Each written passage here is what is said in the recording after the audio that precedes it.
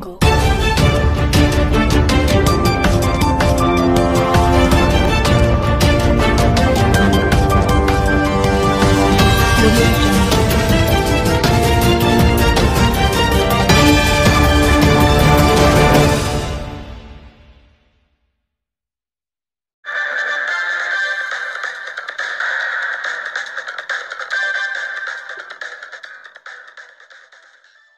Petrol, diesel के महँगाई वृद्धि दर के विरोध में अखिल भारतीय राष्ट्रीय कांग्रेस के आह्वान पर आज भारत बंद का मिला जुला असर बिलाईगढ़ विधानसभा में देखने को मिला।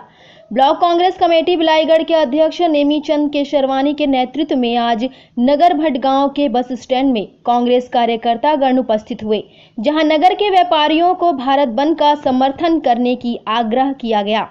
जहाँ नगर के व्यापारियों ने भारत बंद पूर्ण समर्थन दिया। हालाँकि वहीं ब्लॉक मुख्यालय बिलाईगढ़ में तथा सरसीवा में कांग्रेस का भारत बंद नग्न रहे। वहीं कांग्रेसियों ने पेट्रोल, डीजल की वृद्धि दर के विरोध में मोदी सरकार पर जमकर निशाना साधा। आर एन एन न्यूज़ के लिए बिलाईगढ़ से चीफ एडिटर की रिपोर्ट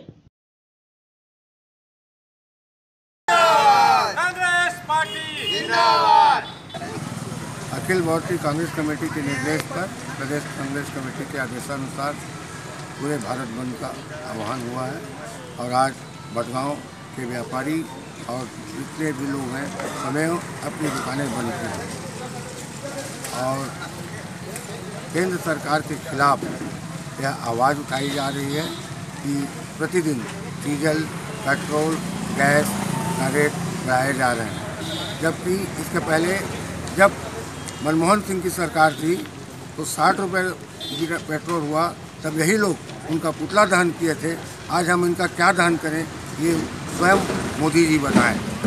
साथ ही मोदी जी ने चुनाव पहले बोले थे कि मैं प्रति किसानों को पंद्रह लाख रुपए उनके खाते में डालूँगा, लेकिन आज तक एक भी किसानों के खाते में एक रुपये नहीं डाले और नहीं डाल सकते। वहीं दूसरी ओर देखा जा रहा है कि बिलाईगढ़ और आपका ये सरसों में आ, समर्थन नहीं मिल रही इस मामले में क्या कहना नहीं चाहेंगे? भिलाईगढ़ में समर्थन हमें मिली है। सरसों में हम लोगों की लापरवाही के कारण समर्थन हम नहीं ले पाए। इसके लिए हम स्वयं दुखी भारत बंद को लेकर के हमारे मतलब कि पूरा भारत देश में हमारे कांग्रेस पार्टी की ओर से मतलब कि पूरा भारत बंद का आह्वान किया गया है जिसमें हमारा भटगांव क्षेत्र भी बंद है पूरा भटगांव क्षेत्र इतना है कि आज जितने भी मतलब कि व्यापारी वर्ग हैं, ये सभी जो है, आज हमारी कांग्रेस पार्टी की बात को मानते हुए पूरा मतलब कि भटगांव बंद का आह्वान किए हैं।